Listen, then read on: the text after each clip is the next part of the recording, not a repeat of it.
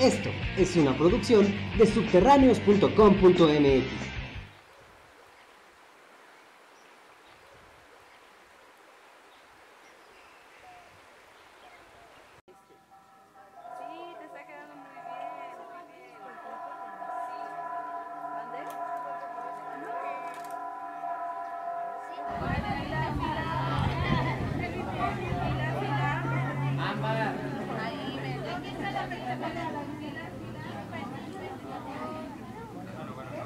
¿Ustedes en qué pudieron inspirarse en hacer el festeja?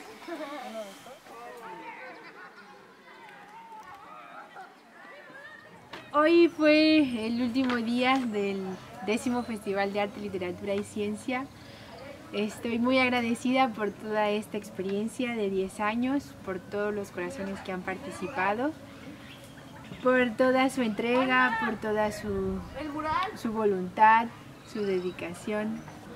El festeja es un espacio en el que las personas se pueden expresar, pueden compartir y se, se crea un lazo bien bonito y un diálogo, una crítica y unas formas distintas de, plantearse las cosas. Creo como cuatro. Ver a todos mis amigos y hacer nuevos. Eh, tenemos 10 años viviendo. Pues, no es por presumir, pero yo nunca me he perdido uno. Eh, a pesar de que es un pueblo chiquito, eh, pueden venir personas de distintos lugares del país y este, pues enseñarnos, ¿no? Más que nada, enseñarnos algo y pues impartir cultura en, pues, en, nos- en nuestras vidas. Se podría decir que son como recuerdos porque han hecho varios murales aquí y pues cada vez que pasa se acuerda uno de que, ah, no, yo vine a hacer este, o- pero quedan. Eh, estar conviviendo con ellos porque son buenas personas, nos ayudan en lo que, les digamos que, que- que nos apoyen y son chidas. Durante el festeja solamente a veces tenemos que estar al pendiente de la biblioteca y el resto del año pues abrimos la biblioteca, impartimos talleres con los niños.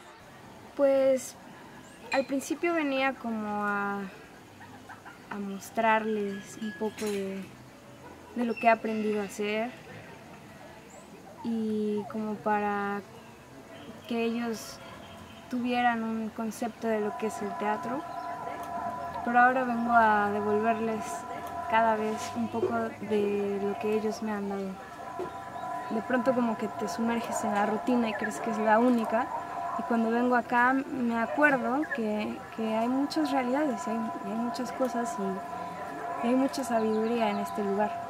Pues así, a mí sí me parece que acercar los libros, ¿no? acercar la ciencia, acercar el arte, da mayores oportunidades, ¿no? Es muy difícil decir, pues a mí no me, no me interesa la lectura, no me gustan los libros, no me gusta la ciencia, no me gusta el arte, cuando no hemos ten- tenido esas oportunidades de acercamiento, ¿no? O sea, no sabemos. pues.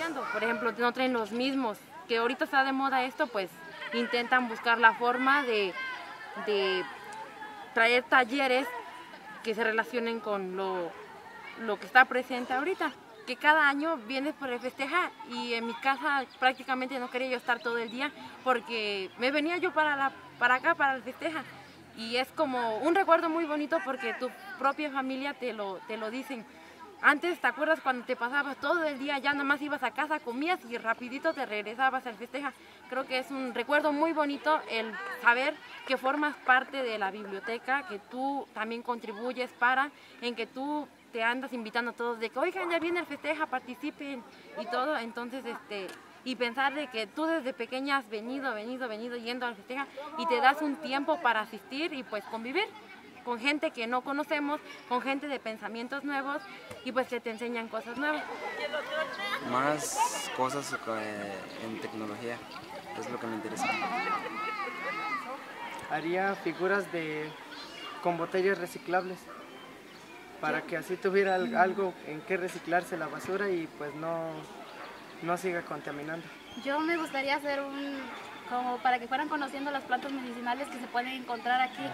llegan personas nuevas, se va cambiando la logística cada año. Eh, los, eh, los talleres que traen, bueno, son más nuevos, y mejores cada año. Eh, llega mucho más gente, a veces menora, pero al otro año vuelve a llegar más gente. Y pues también porque ahora que, que me toca dar talleres a veces o pláticas, pues también aprendo mucho de las dinámicas que hay acá.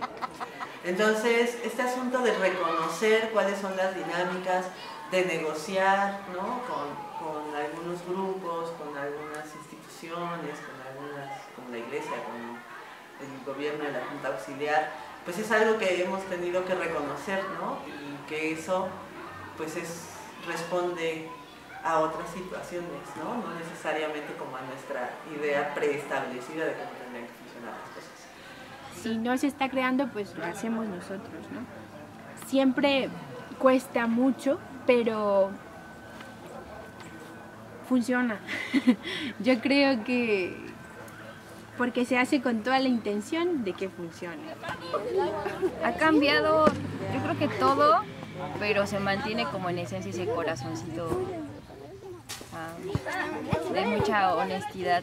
Creo que eso es lo que caracteriza el festival, a pesar de que pues la gente cambia, no siempre son los mismos los que visitan el festival, no siempre son los mismos talleres. Cambia porque todo cambia, pero creo que se mantiene firme en esa intención de, construir algo para, para Tejalpa y para todas las personas que lo visitan. Hay más tranquilidad y también lo noto en, en mis amigos, creo que somos más organizados ya por naturaleza y ya no vemos la organización como un reto, sino como, como algo que es parte de nosotros. Creo que muy pocas personas tienen la oportunidad de, de estar en un proyecto en el que vean crecer a las personas. O sea, hay niños que yo conocí de cuatro años o cinco que ahora ya son adolescentes, algunos ya casi adultos, entonces es impresionante ver eso. Sí, una unión muy familiar, ya no es ya no es ni amigos, es ya una familia que crece con los años con todas las personas que llegan, se quedan con una buena impresión, con ganas de compartir más y de involucrarse más con las personas, más allá de, del, del venir a dar un taller, sino ya concretar como una familia. 311 personas han colaborado con presentaciones, talleres, eh, murales, lectura, fanzines, danza, teatro y 130 talleres se han llevado a cabo. Eh, nuestro público principal son los niños, pero también hemos abarcado a otras edades. Eh, las mujeres también han sido atendidas y los hombres en menor participación, pero siempre buscando que se puedan abrir esos espacios también a todos los grupos de edades. Y 57 em, presentaciones artísticas hemos compartido durante estos 10 años. Em, estas presentaciones han sido muy variadas, de mucha calidad y muy diversas. 65 actividades eh, se han llevado a cabo y hay algunas que han permanecido activas durante lo largo del año. Buenos días. decir porque me traen alegría, conocimiento, porque me dan la oportunidad de expresar qué tanto puedo querer a tanta gente. Bueno, pues me gustaría que pudiera ser más patrocinado, que pudiera tener más ayuda, más participación económica sobre todo, porque yo veo cómo, cómo batallan las organizadoras pues para poder conseguir lo del transporte, lo de alimentos, sobre todo eso, porque lo demás pues está, nada más es pues ayuda económica o patrocinio. Pues primero que nada esperamos que dure muchos más años, sí, porque pues en serio que mi infancia estuvo desarrollada en, en este tiempo, en esa convivencia que tuvimos. Yo espero que las personas que participan, sobre todo los niños y los jóvenes que están eh, participando a lo largo de estos años, sean los que retomen este proyecto y se sumen y ahora ellos sean los que den los talleres y hagan los los partidos de fútbol y ellos organicen los talleres y se propongan para decir que ellos son también parte del festival.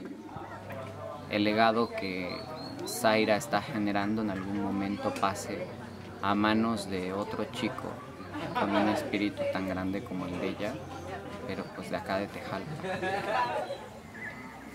Pues espero poder seguir compartiendo lo más que pueda.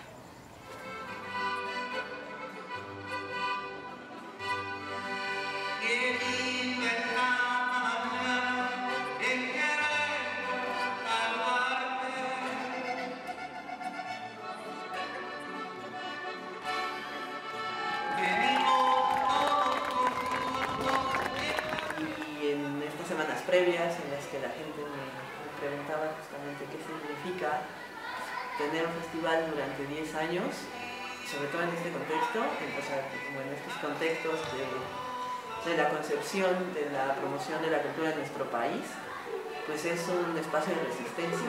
A todas esas personas tienen esa esperanza también de que por medio del arte y de la, de la paz puedes cambiar muchas cosas en los niños.